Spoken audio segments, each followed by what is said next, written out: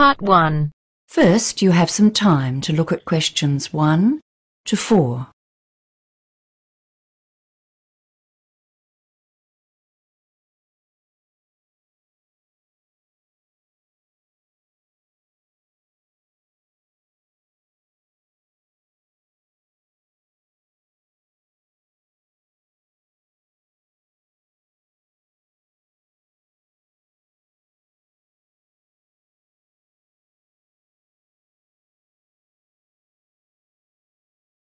This week's Our World program comes from Canada, where Usha Lee McFarling sends this report on how global warming is affecting the behavior of polar bears and creating problems for the town of Churchill, which depends on the bears for tourism.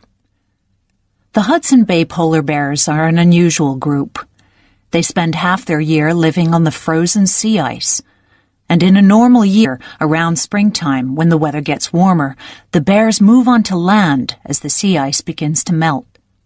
Once they have done this, their lives enter a new phase, which involves a change in their metabolism. They don't hibernate, but their bodies slow down because they won't eat for the next six months. During this half of the year, they lose hundreds of pounds in weight. Each autumn, as the temperature falls, the bears migrate past the small town of Churchill, waiting for the Hudson Bay to freeze over again. When it has, the bears go back onto the sea ice. Now they can build up their fat reserves by feeding on seals. They survive because the surface of the Hudson Bay is normally frozen from mid-October through to mid-April.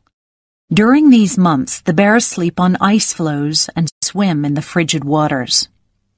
Normally, that means millions of dollars for the town of Churchill, which earns money by taking tourists into the tundra to see the bears as they pass by the town. However, recently the weather has been warmer and the bears' behavior has changed. The warm weather prevents the sea from freezing, and so the hungry bears come into town looking for food. Before you hear the rest of the conversation, you have some time to look at questions 5 to 10.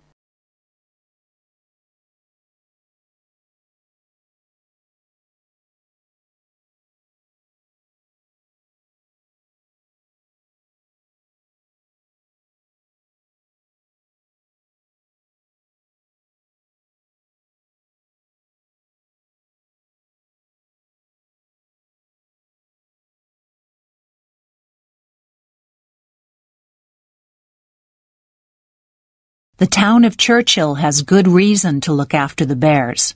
Rough estimates indicate the province of Manitoba earns in the region of $300 million each year from bear tourism.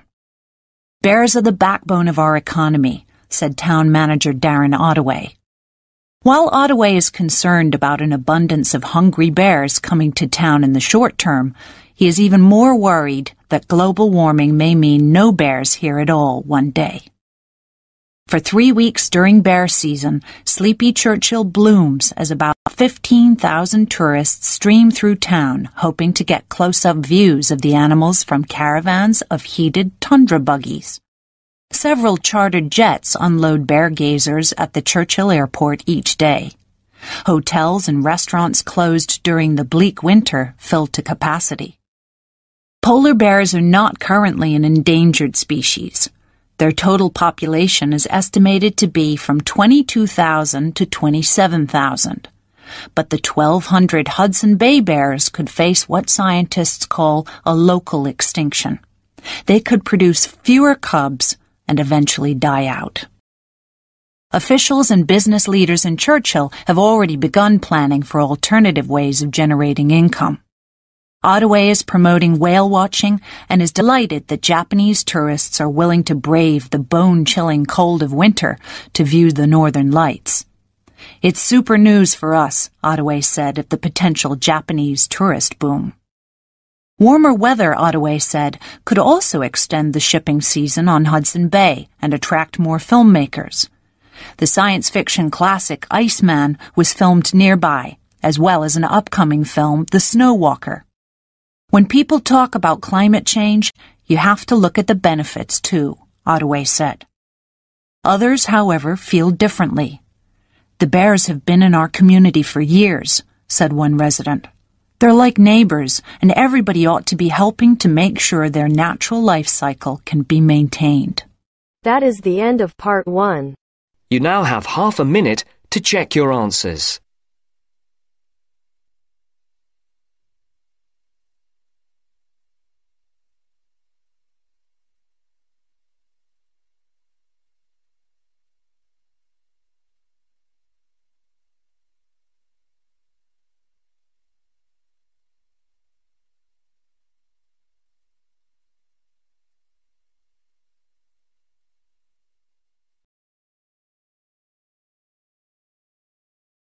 Now turns to part two. Part 2. First, you have some time to look at questions 11 to 15.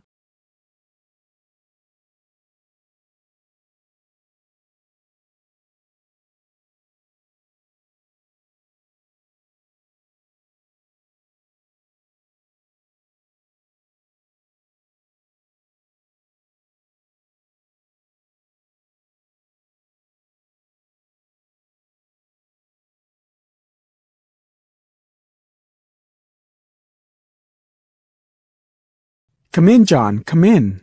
How's the paper going? Morning, Mr. Taylor. Pretty well, actually. Good, good. It's not all about bicycles, is it? I know you've got a thing about bicycles. Yes, but that's just. There are other ways to get around town, you know. Yes, I know, and I think I've researched pretty well all of them. Right then.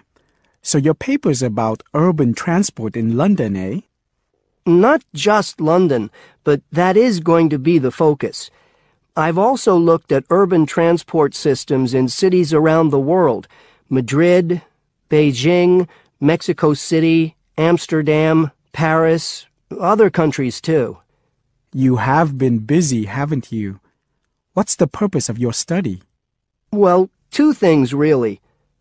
I want to see if there are more efficient ways of organizing urban transport systems while cutting down on traffic congestion, and of course pollution, and to find ways of encouraging people to use public transport instead of their cars. Let's start with that then, with cars. I think you'll have a hard time thinking of ways to persuade people to swap their cars for a crowded bus or underground train. They're convenient, comfortable, faster, and sometimes they're a status symbol too. Okay, I agree that cars will probably always be the most popular means of transport, but there are ways to cut down the number of people who bring their cars into the city. It's a problem that affects every big city, and several methods have been tried. I know, I know, as I've found to my cost. When I go into London, which I do two or three times a week, I have to pay five pounds to get into the city centre.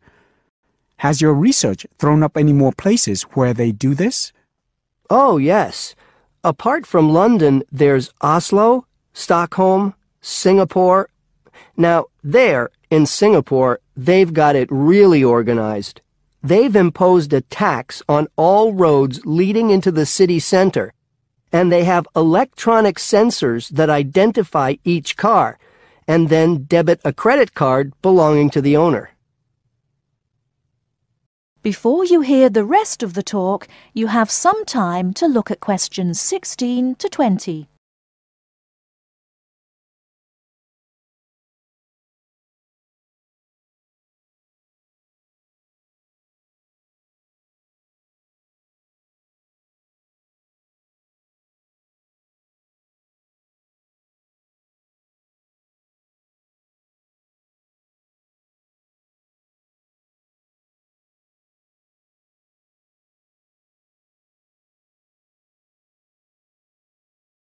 And other cities, instead of charging motorists to come into the city center, have tried other measures. Such as? Well, in Athens, cars are only allowed to go into the city center on alternate days, depending on their license plate number. In Bogota and some other Latin American cities, such as Quito and Sao Paulo, they've developed what is called a BRT system. A what? A BRT system, a bus rapid transit system. People leave their cars outside the city and take buses, which have special express lanes into and through the city. It's been so successful that they're trying it out in Mexico City, Beijing, Seoul, and Taipei. And other cities are pedestrianizing more and more areas of the city center. I see. How have these measures affected traffic congestion and pollution levels? In most cases, it has led to a reduction in the number of cars entering the city center. Certainly in Singapore, where it's now much easier to move around the city and the air is much cleaner than most other cities in that part of the world. London too, I believe. I can give some facts and figures if you like. Please do. In the first year after the tax was introduced, the number of people using buses to get to the city center rose by 38%. Really? 38%? Incredible. Yes, and the number of cars entering central London dropped by about 18%. There's more. The number of people using bicycles and mopeds went up 17%. I knew we'd get to bicycles at some point. Well, yes. In the city, the bicycle has a lot going for it. You can avoid traffic jams, there are no parking problems, they don't pollute, they're cheap to run, and they don't cost very much. Oh, and here's another fact for you. You can fit 20 bicycles in the space needed to park one car. Well, I never but I can't see it catching on. Besides, we seem to be getting off the point. Not at all. China, Japan, and Holland have all integrated bicycles into their urban transport systems. In Holland and Japan, they've got special parking areas for commuters who get to the station by bike. And Japan has even built multi-story parking facilities for bikes close to railway stations. Then look at America. In New York, delivery services use bicycles because they can deliver messages and small parcels far more quickly and at much lower cost than cars or vans. Even the police use bicycles. In fact, in about 80% of the towns in America where the population is around half a million, the police regularly patrol on bicycles. And they have proved to be effective because they can reach the scene of an accident or crime faster and more quietly than officers in patrol cars, making a lot more arrests per officer. Well, you do know your bicycles, don't you? But I do need to hear more about the public transport system and what's to be done about that. And I'd like you to look a bit more into the economics of it, how much it will cost to improve the situation, and so on. Okay? Right. See you next Tuesday. Yes, next Tuesday. Bye, Mr. Taylor. That is the end of part two. You now have half a minute to check your answers.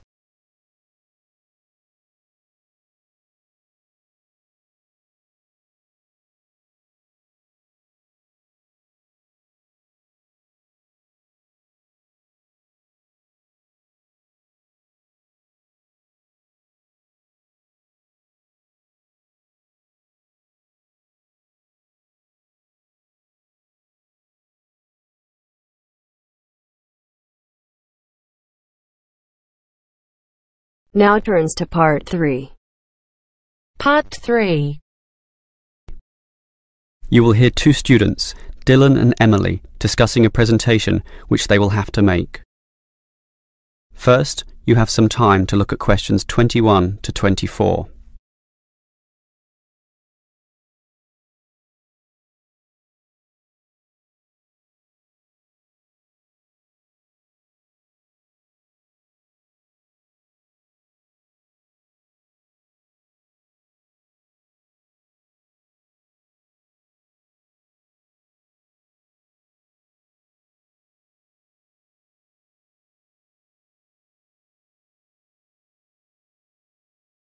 Okay, Emily, as you know, we've got to do this presentation together. I know. I'm a little bit nervous about it. Standing up in front of all those people. And what if the presentation fails? What if. Don't worry. I've been reading a book about giving effective presentations. It's not that hard, but the way to do it is certainly not always obvious either. For example, do you know what the most important part of a presentation is? The final summary, I guess. The opposite. The first minute, in fact. The theory says that that first minute is when you win or lose the audience. If you lose them at that point, you'll probably never get them back. So that's why you need a hook. A hook? You mean like when you catch fish? Yes. I mean, not exactly, but yes, we want to catch the audience, right? So we need to start in a way which wakes them up, gets them interested, and makes them watch us. I see. Basically, no matter how good our presentation is, if the message doesn't get across, the presentation fails. So we need to give a fact which really amazes them, or an interesting story, or pose a dilemma which makes them think, something they can really puzzle over. It's better if this is related to the subject, of course, something to do with management in our case. So that's the hook. That's right. From then on, we'll just follow the basic advice. Like what? Like, talk to your audience, you know, as equals. Don't talk down to them or up to them. They're just the same as us, right? You're right, you know. Some of the best presentations I've ever seen sounded just like conversations. Exactly. And what else made them good? Well, the speakers sort of involved me in the topic and issues under discussion by asking questions, by uh, referring to me, you know, by saying you, and well, basically they were interesting. And they're exactly the tips we'll follow too. It should be fine. Before you hear the rest of the conversation, you have some time to look at questions 25 to 30.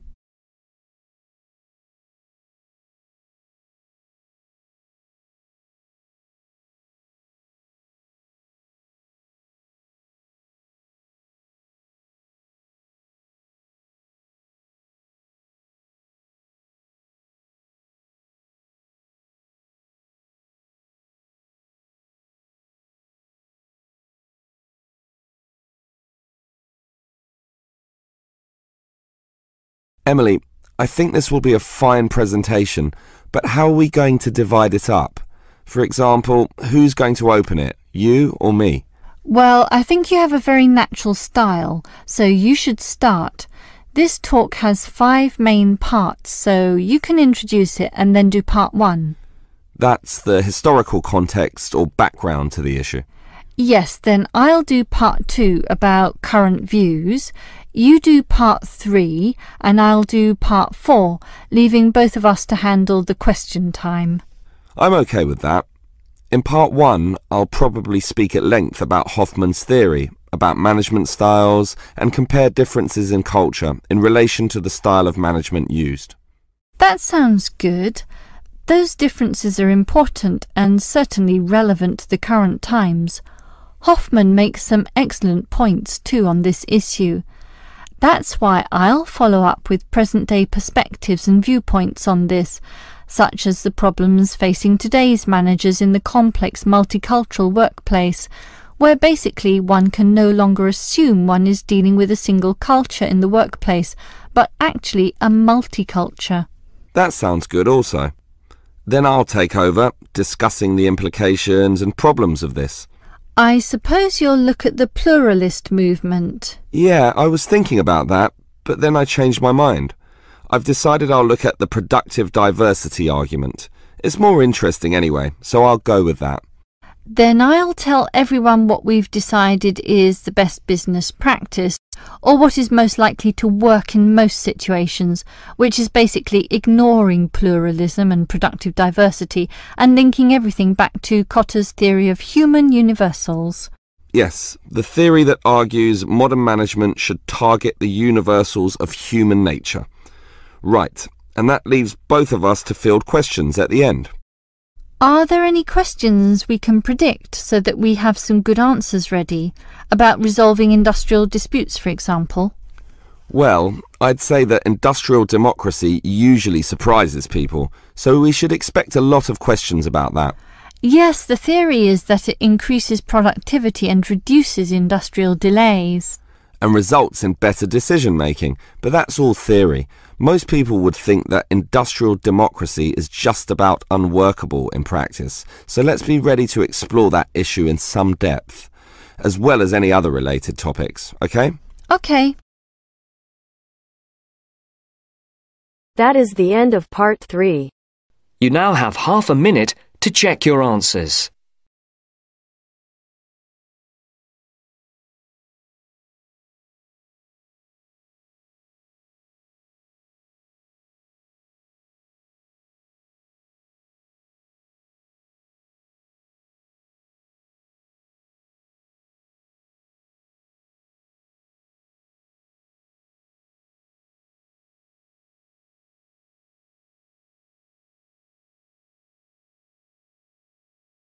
Now turns to part 4. Part 4. You will hear a lecture about the Great Barrier Reef. First, you have some time to look at questions 31 to 40.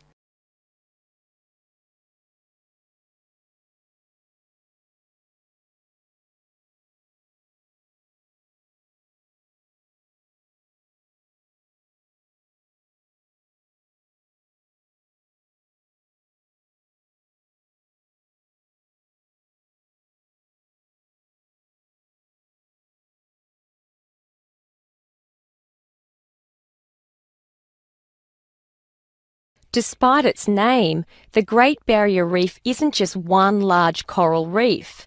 Rather, it's a system of coral reefs that stretches along the east coast of Australia, covering an area of around 300,000 square kilometres. The Great Barrier Reef is composed of approximately 3,000 individual reefs, which range in size from 1 hectare to more than 10,000 hectares each. In addition, Around 600 islands are scattered throughout the area, particularly at the northern and southern ends. The reefs themselves are composed of over 400 different kinds of coral, the largest variety of corals found anywhere in the world. Thousands of species of sea animals live in and around the reefs. Altogether, Approximately 1,500 species of fish inhabit the reef area, including a number of different kinds of sharks. One of the more interesting mollusks to be found in the reefs is the giant clam. This huge shellfish can live for more than 100 years and can weigh as much as 200 kilos. Sea mammals abound in the area, which serves as a breeding ground for certain types of whales, many of which are endangered. Over 200 species of sea and shore birds feed, roost, or nest among the reefs and islands.